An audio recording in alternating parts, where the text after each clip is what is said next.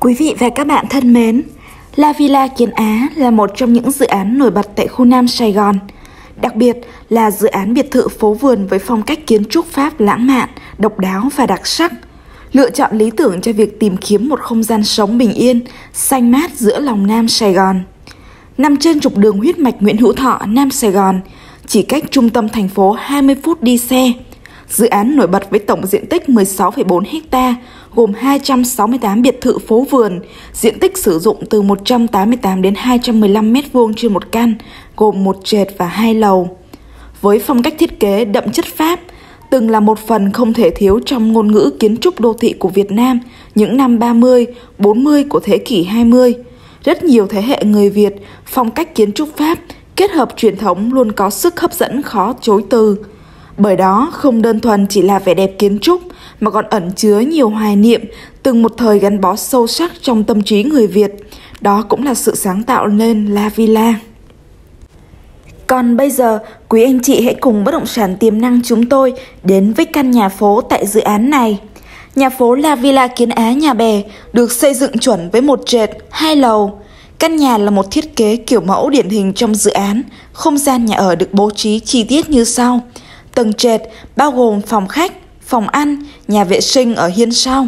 Tầng 1 bao gồm hai phòng ngủ, tầng 2 một phòng ngủ, phòng làm việc. Đằng trước nhà còn có một khoảng sân để xe cộ và để được cả ô tô. Khu vực này sẽ tạo cho không gian trở nên mát mẻ và tạo mảng xanh cho ngôi nhà nếu gia chủ yêu thích việc trang trí khu vườn bằng cây cỏ.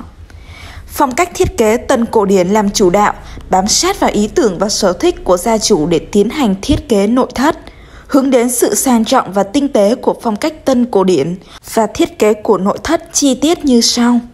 Phòng khách là không gian tiếp khách của gia chủ. Vì ngôi nhà có chiều ngang 5 mét nên phòng khách đặc biệt rộng rãi, được bố trí ngay cửa ra vào để đón được nhiều nhất ánh sáng tự nhiên.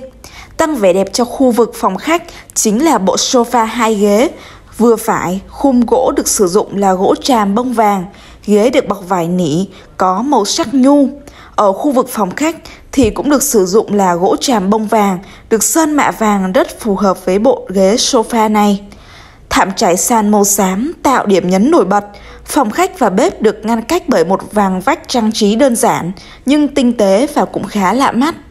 Đến với khu vực bếp thì đây là một quầy bar mini giúp chúng ta có thể trưng bày hoa hay là những đồ trang trí giúp gia đình tạo thêm được điểm nhấn cho ngôi nhà. Tủ bếp được trưng dụng gam màu trắng để phù hợp với cảnh sắc xung quanh. Phần tủ bếp có một chiếc bàn đảo giúp gia chủ dễ dàng thao tác nấu nướng và có nhiều vị trí để bày biện và kiểm soát được thức ăn. Phía đối diện khu vực bếp thì là một bộ bàn ăn hình tròn được làm bằng gỗ tràm bông vàng. Ở phần đằng sau khu vực này là vị trí mà chúng ta có thể đặt máy giặt và cộng theo đó là một khoản phơi đồ thông minh. Chúng ta có thể phơi đồ ở dưới này mà không cần phải đi lên trên lầu. Đối diện bàn ghế phòng khách là cầu thang hướng lên các tầng trên.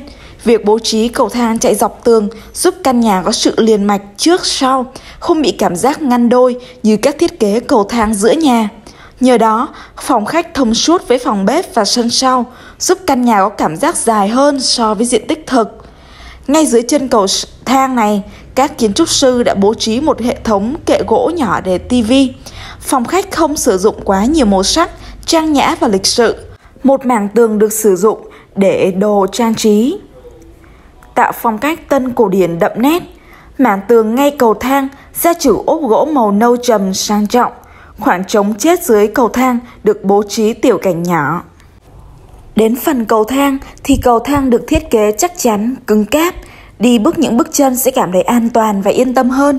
Còn đối với phòng ngủ, phong cách tân cổ điển vẫn được lấy làm tôn chỉ trong thiết kế nội thất La Villa. Phòng ngủ treo đèn trang trí tròn, mẫu mã độc đáo, giường ngủ kiểu Nhật Bản, bàn trang điểm nhỏ gọn. Còn tủ quần áo thì được bố trí âm tường, tiết kiệm diện tích, được thiết kế với xốp cách âm. Phòng ngủ trước sau đều hướng ra khoảng sân vườn nên đều đón nắng gió tự nhiên. Căn phòng master thì được thừa hưởng một khoảng ban công phía bên ngoài lớn vừa phải.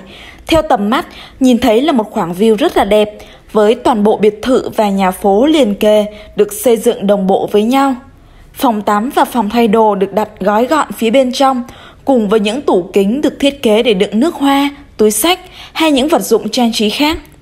Căn phòng thứ hai với diện tích nhỏ hơn, chỉ khoảng tầm 6 mét, gồm một chiếc tủ âm tường đựng quần áo với sức chứa lớn. Theo đó là một chiếc giường với những ô cửa sổ giúp chúng ta lấy ánh sáng từ bên ngoài vào trong và một chiếc bàn làm việc rất là xinh xắn để học tập. Sau khi trải nghiệm căn nhà tại khu dân cư La Villa Kiến Á thì mọi người thấy sao? Liệu căn nhà này có đáp ứng được nhu cầu của mọi người hay không? Hay căn nhà này có để lại nhiều ấn tượng về không gian, nội thất và cảm hứng thiết kế? Hãy bình luận phía dưới video để chúng tôi biết nhé! Ngoài ra, quý vị muốn tìm hiểu thêm thông tin chi tiết về nhà phố La Villa, hãy liên hệ với chúng tôi qua số hotline phía bên dưới. Chúc quý vị có một ngày bình an!